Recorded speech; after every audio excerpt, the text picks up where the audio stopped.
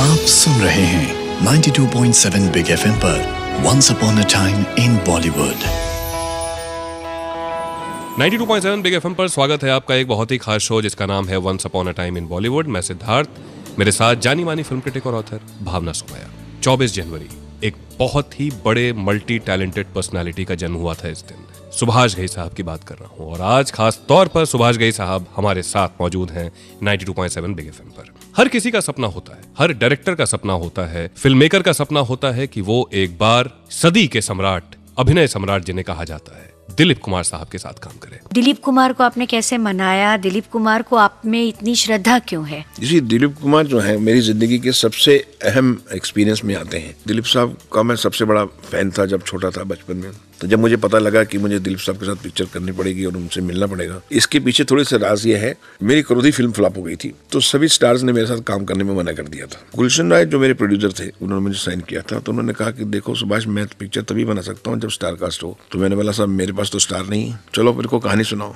तो फिर मैंने उनको कहानी सुनाई। मैंने बोला जिसमें स्टार नहीं है एक बूढ़ा आदमी है और एक सत्रह साल का लड़का है।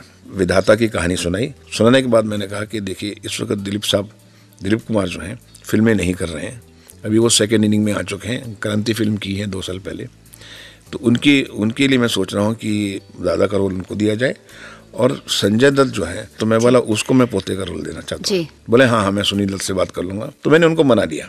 अब ये पिक्चर यहाँ शुरू हुई। और मैं मिला उनको, मैंने कहानी सुनाई, मैंने उनसे कहा कि मैं आपका फ़ैन हूँ, लेकिन कहानी सुनाई, कहानी वो सुनते रहे सुनते रहे सुनते रहे सुनने के बाद बोले, ठीक है थोड़ा सा काम करेंगे इसमें। अनाउंस हो गया सब पिक्चर जब अनाउंस हो गया, हमने फिर वापस लिखना शुरू किया। पूरी इंडस्ट्री ने मुझे कहा कि तुम पागल हो, दिलीप कुमार के साथ काम कर रहे हो। दिलीप साहब का स्टाइल नहीं जानते तुम।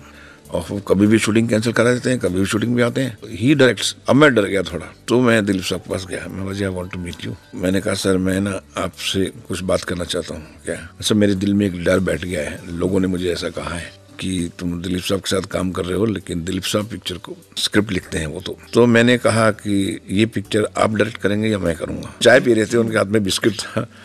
तो बिस्किट खाते खाते वो रुक गए। तो उन्होंने मेरी तरफ़ देखा। और स्माइल से कहा, और चाय रखी नीचे। इसे देखो, मैंने तुम्हारा स्क्रिप्ट सुना है। ये पिक्चर तुम ही डायरेक्ट करोगे। जो लोग कहते हैं उन्हें कहने दो।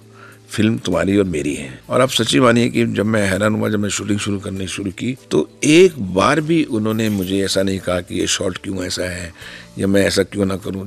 Then I learn lot of things from him विधाता जब चल गई तो मैंने बोला, अब तो मैं स्टार के साथ नहीं बनाऊँगा अभी स्टार लोगों के फ़ोन आने शुरू हो गए। यू नो कि अभी तुम्हारी हिविदाता चल गई है कोई अच्छा सब्जेक्ट हो तो बताना। हाँ, जब आपकी फिर चल जाती है ना तो गले लगते हैं फिर आपसे अरे कहाँ थे तुम?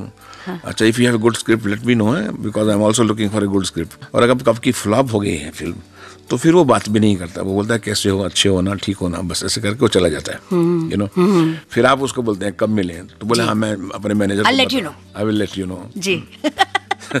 तो फिर मैंने गुस्से में हीरो पिक्चर बनाई। नया लड़का और नई लड़की बनाऊँगा। और मैंने म्यूजिकल फ़िल्म बनाई लव स्टोरी बनाई और हीरो। और वो इतनी चली सेवेंटी फाइव वीक कि उससे फिर मेरे प्रोडक्शन हाउस भी जो है एक अच्छे मुकाम पर पहुँच मुक्ता आर्ट्स आपने लॉन्च किया। हाँ। जी। दो एसोसिएशन बहुत कमाल के रहे सुभाष गई साहब। कौन से एसोसिएशन जानेंगे खुद सुभाष गई साहब से। बस अब से थोड़ी देर में सुनते रहिए once upon a time in Bollywood only on 92.7 Big FM